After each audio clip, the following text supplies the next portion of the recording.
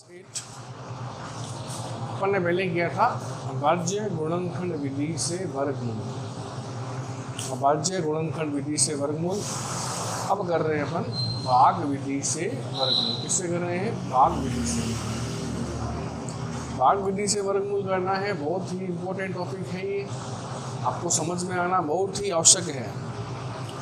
क्योंकि बड़े बड़े वर्गमूल जब ज्ञात करने होते हैं, अपन भाग विधि से ज्ञात करते हैं तो आसानी से होते हैं। आज गुणन विधि की अपेक्षा ये थोड़ा, ये ज़्यादा काम आता है। सबसे पहले क्या करना है अपने को? जैसे एक का स्क्वायर क्या हो गया? एक हो गया। दो का स्क्वायर क्या हो गया? चार हो गया। तीन का स्क्वायर क्या हो गया? नौ हो गया। चार का स्क्वायर क्या हो गया? सोलह हो गया। पाँच का स्क्वायर क्या हो गया?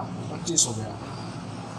छः का स्क्वायर क्या हो गया छत्तीस हो गया सात का स्क्वायर क्या हो गया उनचास हो गया आठ का स्क्वायर क्या हो गया चौंसठ हो गया नौ का स्क्वायर क्या हो गया इक्यासी ये आपको याद करने पड़ेंगे समझने पड़ेंगे एक का स्क्वायर एक दो का स्क्वायर चार तीन का स्क्वायर नौ चार का स्क्वायर सोलह पाँच का स्क्वायर पच्चीस छः का स्क्वायर छत्तीस सात का स्क्वायर उनचास, आठ का स्क्वायर चौंसठ, नौ का स्क्वायर इक्यासी ये आपको समझने पड़ेंगे, याद करने पड़ेंगे। क्योंकि इन पे डिपेंड करता है, पहला पॉइंट से डिपेंड करता है। पहला पॉइंट है, इसी पे डिपेंड करता है। तो भाग विधि से वर्गमूल ज्ञात करना है। क्या करना पड़ेगा। सबसे पहले दो दो संख्याओं के जोड़े बनाने पड़ेंगे। पीछे से दो दो संख्याओं के जोड़े बनाने पड़ेंगे दो और नौ का बन गया और पाँच का। पीछे से दो दो संख्याओं के जोड़े बनाने पड़ेंगे दो और नौ का बन गया और पाँच का बन गया। इसका बन गया? दो, नौ का और जोड़ा बन गया। पहले जोड़े में क्या है? सिर्फ़ पाँच। पहले जोड़े में क्या है? सिर्फ़ पाँच। सिर्फ़ पाँच है। तो पाँच से कम यहाँ देखो क्या है। यहाँ पाँच है क्या? यहाँ पाँच तो नहीं है। लेकिन पाँच से कम क्या है? पाँच से कम चार है। पाँच से कम क्या है? चार है। पाँच तो नहीं है। एक है, चार है, फिर नौ है। सीधा नौ आ गया। तो पाँच तो नहीं है। पाँच नहीं है, लेकिन पाँच से कम क्या है? पाँच से कम चार है। पाँच से कम क्या है? पाँच से कम चार है। चार कैसे आता है? दो इंटू दो से। दो का स्क्वायर करने का। चार कैसा आया? दो का स्क्वायर करने का। आ गया। ये प्लस करना है और ये माइनस करना है। ये प्लस करना है और ये माइनस करना है। बाहर प्लस अंदर माइनस बाहर प्लस करना है, अंदर माइनस करना है। अब दो में दो जोड़ दो, कितना आ गया? चार आ गया। कितना आ गया? चार। पाँच में चार घटाओ, कितना बचेगा? एक बचेगा। कितना बचेगा? एक। पाँच में चार घटाओ कितना बचेगा? एक। ऊपर से क्या उतार लिया? उनतीस। क्या उतार लिया? उनतीस। लास्ट जोड़ा ये। लास्ट जोड़े तो है संख्या उतारने कुछ भी नहीं आगे कुछ नहीं उतारनी। तो अब चार के आगे संख्या माननी है। ऐसी संख्या माननी है कि एक सौ उनतीस आ जाए जैसे अपन चार के आगे एक मानते हैं तो एक से गुणा करेंगे। कितना आएगा? इकतालीस। ये काम है। हम एक सौ उनतीस ही तो यहाँ देखो लास्ट की संख्या उतारी अपन ने। यहाँ देखो, नौ कहाँ कहाँ आ रहे हैं? एक तो नौ यहाँ आ रहा है, तीन बार में। और एक नौ आ रहा है, सात बार में। नौ। यहाँ लास्ट में नौ है। लास्ट में क्या है? नौ। नौ यहाँ कहाँ आ रहा है? एक तो यहाँ नौ आ रहा है, तीन में और एक आ रहा है, सात। में फिर तीन ले लेते हैं। तो चार के आगे तीन माना गुणा की तीन से।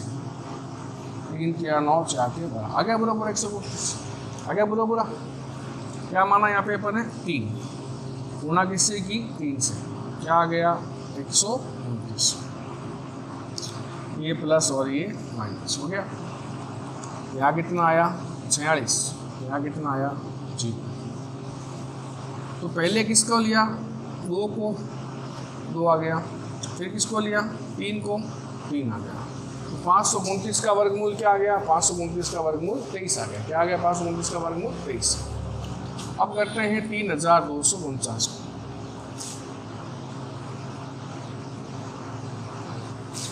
पीछे से दो दो संख्याओं के जोड़े पीछे से दो दो संख्याओं के जोड़े जोड़ा चार और नौ का बन गया, तीन और दो का बन गया। चार नौ का बन गया, तीन दो का जोड़ा बन गया।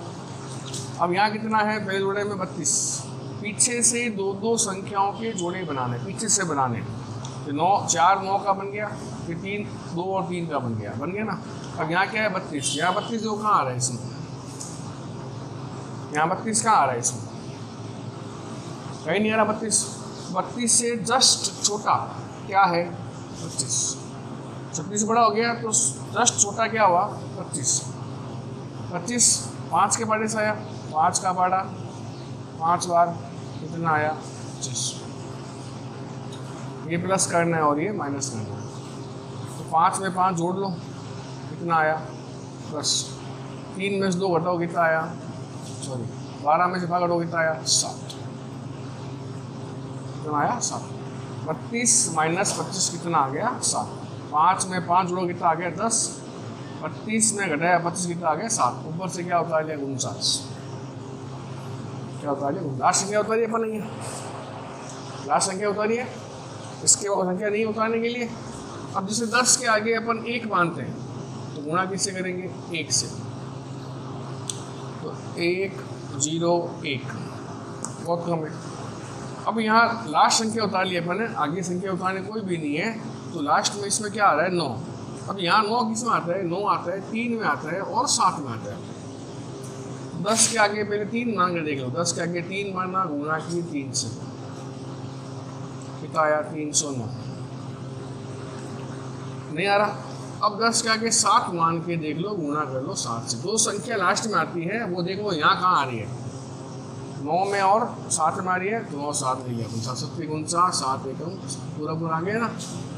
तीन में नहीं है, लेकिन सात में आ गया। नौ यहाँ लास्ट में नौ है। नौ एक तो तीन में आ रहा है और एक सात में आ रहा है। आ रहा है ना? सात एक उनचास आ गया। तो क्या माना यहाँ पे? सात माना गुणा की सात से।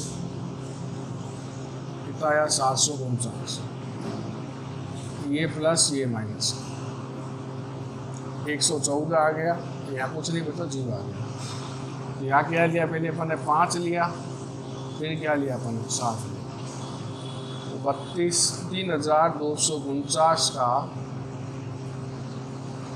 वर्गमूल कितना आया? सत्तावन। आया? तो आज के लिए इतना ही। भाई कल करेंगे। धन्यवाद।